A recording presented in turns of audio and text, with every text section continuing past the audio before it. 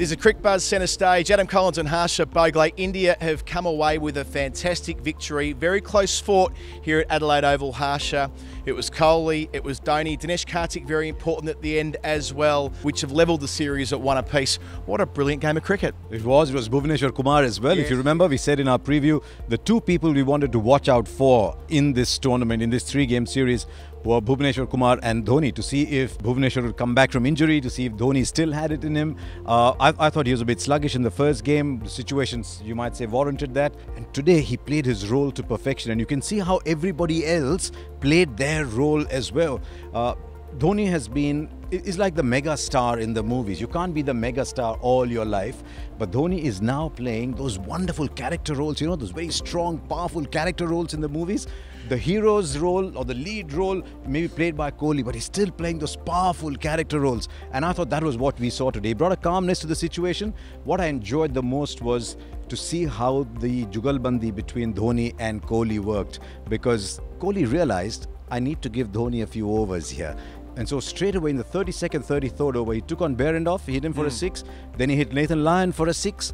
And in doing so, he gave Dhoni the time that he needed, and then Dhoni gave him that investment with a with wonderful return by finishing off the game for him. I thought even Dinesh Karthik took the pressure off Dhoni because I think the plan was Dhoni will be batting at the end, and so someone has to take a chance. Dinesh Karthik did that well, and uh, Kohli did that magnificently. What a hundred! Uh, for being there in the final scene, uh, Dhoni putting his hand in the air, waving to the crowd. No bat yeah, wave, just I a, saw your tweet. It, yeah. it, it, felt as though it might have just been like a, accepting the best supporting actor award at the Oscars in a couple of months' time. It, let, let, us reflect on Dhoni because we, we, we all came to a similar conclusion. Indeed, Rohit Sharma at Stumps at Sydney a couple of nights ago said, set Dhoni up the order because yes. we're not sure he can necessarily finish down the order, but we saw a good composite role that Dhoni played tonight. Like you say, Virat was integral to laying the foundation, but I don't know, maybe Dhoni's got a few tricks left in him yet at the end of a game. Or maybe Dhoni can still bat at four and get even more deliveries in to be able to finish to be able to finish even better. And then maybe Rayudu, who likes to get along as well, yep. maybe he can move to five. That's still eminently possible. But uh, but the Dhoni wave, I have. Uh, I, I don't think anybody can claim to know Dhoni, but I've seen Dhoni now since 2004-5 when you won, when India won the 2007 World T20, when they won the 2011 World Cup, Dhoni was never center stage. It's not like Dhoni to take center stage. I've in, in, interviewed him in presentations, and I said, "Aren't you ever going to talk about your role?" He said, "No, I've got a team around me," and that's why I understood that beautiful photograph of yours where he's just doing that he's not going he's not going that that, that that's for that's for the little actors who need to who, who need the spotlight Dhoni owns the spotlight. He doesn't need that. And Virat Kohli's playing a similar role, a more humble role we've seen this summer, certainly in the back half of the Test series, now into the one days. He did his bit. He made 100 his 39th 100 in one day international cricket. Look out, Sachin Virat's coming for you. He'll probably have his record by the end of the year, the way that he's going at the moment. The ultimate professional never really gave a chance until he was in the 90s. Nothing meaningful in any case. Um, the way he's able to manipulate the field in the middle overs, still find the rope as required to let the pressure valve off. He's, he's just superb when they're chasing. He was he was wonderful.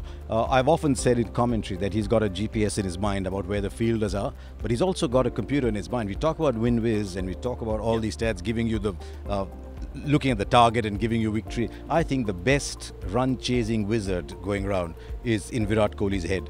He just knows when to up it, when when to give himself a couple of overs. And I, I, I thought today's innings, it was all set up for Virat Kohli to be 135, 140 not out. And that and that bottom-handed flick, yeah. how many times have we seen that go either one bounce or over the boundary? It wasn't to be, but what it did was it gave Dinesh Karthik a sense of responsibility and he brought him back. So the, the series is level 1-1. I actually thought it might be 2-0. I thought India were favourites going in. So you've got to acknowledge that Australia played really well in, in, in this game to take it to 298 and India have a couple of issues with especially the third seamer, but uh, uh, yeah, wonderful result. Yeah, well, looking at the Australian batting innings, you've been watching Shaun Marsh play uh, yes. Harsha since the 2008 IPL when he, of course, was player of the tournament. He's only played 63 one-day internationals. It seems incongruous given uh, the talent he's got with the white ball. You said it on the television commentary today that you feel as though he's more regarded as a white ball player outside of Australia than he is inside Australia, and now he may very well be the glue that holds this side together as they work towards the World Cup. Sometimes it's good to look from outside in So and and that is why I sometimes welcome someone like a Michael Vaughan talking about Indian cricket yep. from the outside. If I was looking at Australian cricket, Shaun Marsh would be among my top first five people picked for the World Cup. He would bat three maybe at the World Cup because I think he's a very special white ball batsman. Something gets liberated in Shaun Marsh when he's wearing coloured clothing and white uh, and, and, and and a white ball. I see glimpses of that in Peter Handscomb as well. A little bit of freedom coming out. And there's one other player that I think the world outside looks at very differently than Australia, and that's Glenn Maxwell. Yeah. Because I, I don't know what Glenn Maxwell's doing playing a finisher at number seven. I mean, he played that role today, so he might just have forced himself into that situation for a little longer. But um, Maxwell's not a finisher. Maxwell's a top order player. Oh, I'm afraid to say Glenn Maxwell will continue batting number seven. I asked Justin Langer about it at the media conference start, and he, and he said as much. He sees Maxwell's best position at number seven, closing the innings.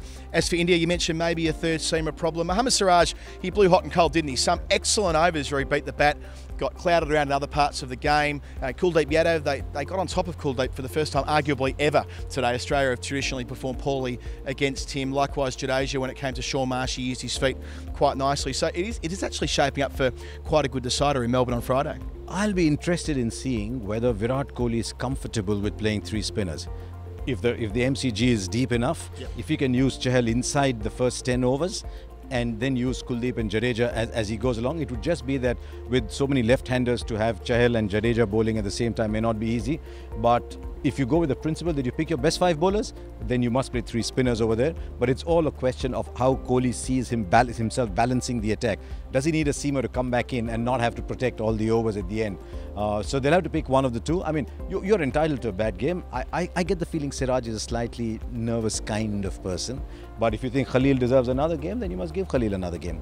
What we know is it was an awful lot of fun here at Adelaide Oval tonight. We saw a oh, cracking game of cricket on Cricbuzz Centre Stage. Adam Collins and Harsha Bhogle, we can't wait to get back to Melbourne for the decider on Friday.